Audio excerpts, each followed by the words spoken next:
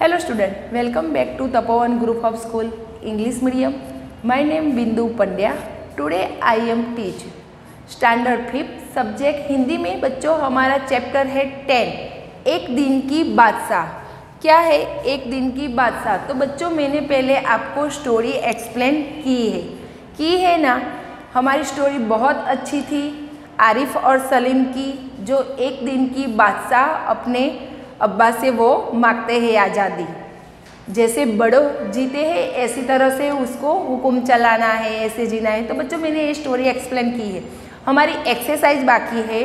तो आपको नोटबुक में, सुंदर राइटिंग में ये एक्सरसाइज आपको लिखना है। ओके तो हम स्टार्ट करते हैं। हम एक्सरसाइज पहली क्या है? खाली स्थान भरो। हेडिंग लगाओ बच्चों।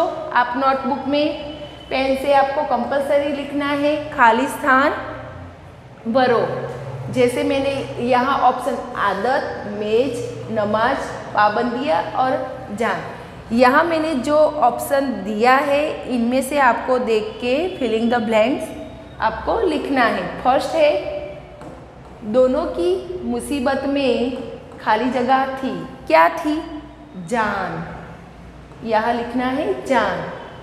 दोनों घंटों बैठकर इन खाली जगहों से बच निकलने की तरकीबें सोचा करते। कौन? आरिफ और सलीम। दोनों, ये दोनों तरकीब सुना ये मुसीबत में। तो क्या पाबंदियाँ। क्या लिखोगे? पाबंदियाँ।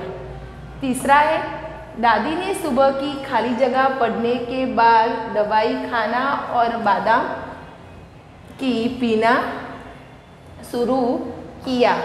उसने क्या किया? दादी ने यहाँ लिखना है आपको आंसर में। नमाज़। क्या लिखना है? नमाज़। चौथा है, अम्मी ने अपनी खाली जगह के अनुसार डांट पिलाई। तो क्या लिखोगे यहाँ? आदत। क्या? आदत। सलीम की आँख खुली तो आपा?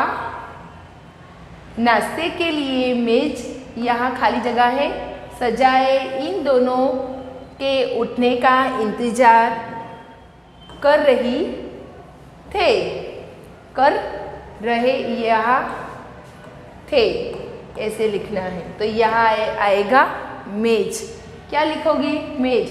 तो यहाँ से आपको देख के हमारी फिलिंग द ब्लैंक्स आपको ऐसे लिखना है आपकी नोटबुक में। एक बार देख लो और आपकी मोबाइल में पिक ले लो उसका।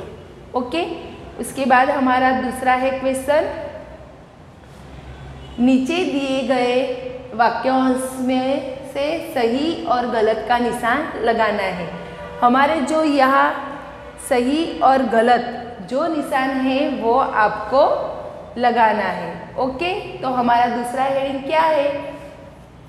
क्या है बच्चों?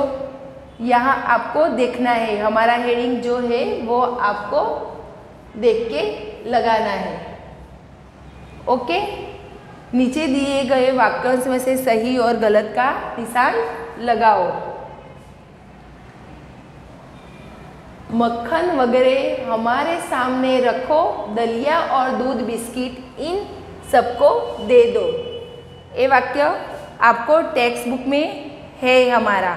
इनमें से आपको पहचानना है, ये वाक्य है, सही है, गलत है तो यहाँ मैंने सही बताया है तो आपको राइट लिखना है।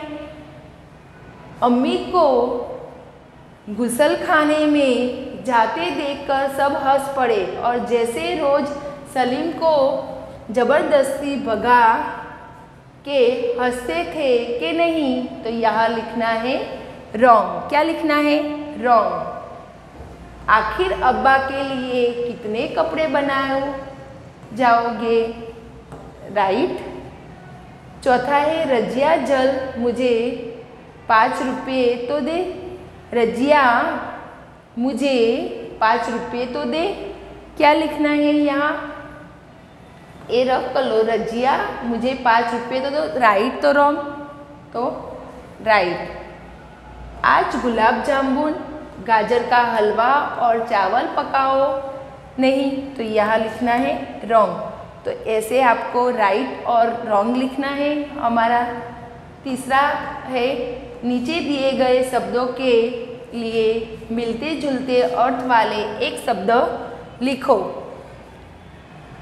पाबंदी तो बाधा, तकरार तो झगड़ा, तरकीब तो सुझाव खिर खिदमत, सेवा, इकरार तो वादा। यहाँ जो हमारे जो शब्द है, उसके मिलते जुलते हैं तो उसके उसके सामने आपको उसका अर्थ लिखना है। तो बच्चों, आपको समझ में आए? पहले हमारे रहे राइट और रॉन्ग और उसके नीचे है, नीचे दिए गए शब्दों के मिलते जुलते अर्थ वाले शब्द लिखो। ओके? आप एक बार देख लो और आपके मोबाइल में उसका पिक ले लो। उसके बाद है, हमारा नीचे दिए गए प्रश्नों के उत्तर लिखो। क्या है नीचे दिए गए प्रश्नों के उत्तर? लिखो। हमारा फ़र्स्ट है, अब्बा ने कहा, क्या सोचकर आरिफ की बात मान ली? अब्बा ने, क्या सोचकर किसकी आरिफ की बात मान ली? तो आंसर में क्या लिखोगी? कि रोज़ सभी इन बच्चों पर हुक्म चलाते हैं। क्यों ना एक दिन के लिए ये हक उन्हें भी दे दिया जाए? सही है बच्चों, हमारी जो चैप्टर में स्टोरी है, इनमें से आपको है दोनों, क्या है सुबह दोनों को बहुत रोक टोक होता है। तो ये लोग सोचे हैं, अब्बा ने सोचा एक दिन उसे भी दिया जाए, जैसे बड़ों उसके पूरे अधिकार छीनते हैं तो आज वो एक दिन के लिए वो बड़े बन जाए और वो छोटे बन जाए। दूसरा है, कौन सी तरकीब से उनकी इच्छा पूरी हो गई? तो आंसर है, उन्होंने बड़ों की सभी अधिकार मांग लिए थे और बड़ों के छोटे की तरह रहने के लिए कहा था, जिससे उनकी इच्छा पूरी हो गई। तो बच्चों, हमारी स्टोरी भी वही है, आंसर भी आपको समझ में आ जाएगा। ओके हमारा तीसरा है, अम्मी के अधिकार किसने छीने, छीन लिए गए? जैसे उसकी अम्मी थी, किसके उसके अधिकार छीने? तो आंसर है। अब्बी के अधिकार आरिफ और सलीम ने छीन लिए थे। किसने छीन लिए थे? आरिफ और सलीम ने। आरिफ और सलीम ने क्या किया था? एक दिन की, उसने क्या किया? एक दिन की आज़ादी मांगी। क्या दोनों को एक दिन के लिए दोनों को बड़ों का बनना था? बड़ों जैसे उसके ऊपर हुक्म चलाते थे ऐसे दोनों को करना था और एक दिन की आज़ादी उसने अब्बा ने परमिशन दे दी। चौथा है, उन्होंने अम्मी को कौन कौन से अधिकार छीने होंगे? आंसर है, उन्होंने अम्मी से डांटने, सुबह जल्दी उठने, अपनी पसंद का खाना बनवा बनवाने, कैसे अधिकार छीने होंगे?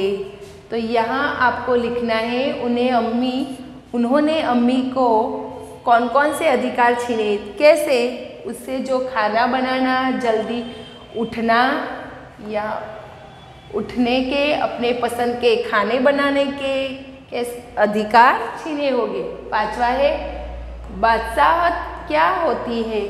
चर्चा करो। हमारा चैप्टर का हेडिंग है, एक दिन की बादशाह। तो उसका क्या होता है? उसके बारे में बताया है। किसी क्षेत्र या राज्य या देश आदि पर शासन करे, पूरे अधिकार जमाना तथा अपनी मन मर्ज़ी अपनी मन मर्ज़ी करना उसको बादशाह होते हैं। तो बच्चों, हम हमारी मन मर्ज़ी चलाते हैं, किसी को हुक्म करते हैं तो उससे हम क्या बोलते हैं? बादशाह। तो बच्चों, ये रहे हमारे फाइव क्वेश्चन कितने हैं? फाइव और आपको ये नोटबुक में सुंदर राइटिंग में आपको लिखना है। देख लो और आपके मोबाइल में उसका पिक ले लो। उसके बाद है